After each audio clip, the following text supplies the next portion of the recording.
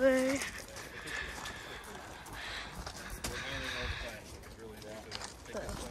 Bye. Oh, oh God. It's the of it. Oh, ho, ho. Santa Fe number 97. Oh God, that's right. Santa Fe number 97. Two years older behind us, which is from 1969 or 70. When it was excuse me, when it was built. This was built in 1967. It's a Full send? What the heck? P45.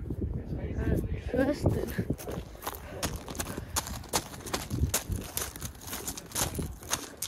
It's a fun of Union Pacific 6913.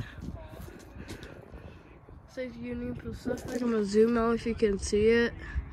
So it says Union, Pacific.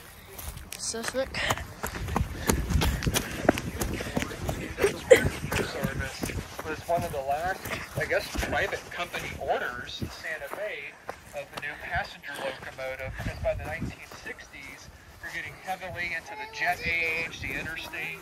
People were traveling with them from Santa Fe going You do. Chicago to Los Angeles year round on this the super 97. cheap still, you know, uh, air-conditioned Pullman cars were a nice alternative to driving through the Southwest in the summer sometimes. Back when automobiles, you know, air conditioning was the top or the windows back then. And uh, this 97. passengers for about four years, but by 1971, government funded Oh.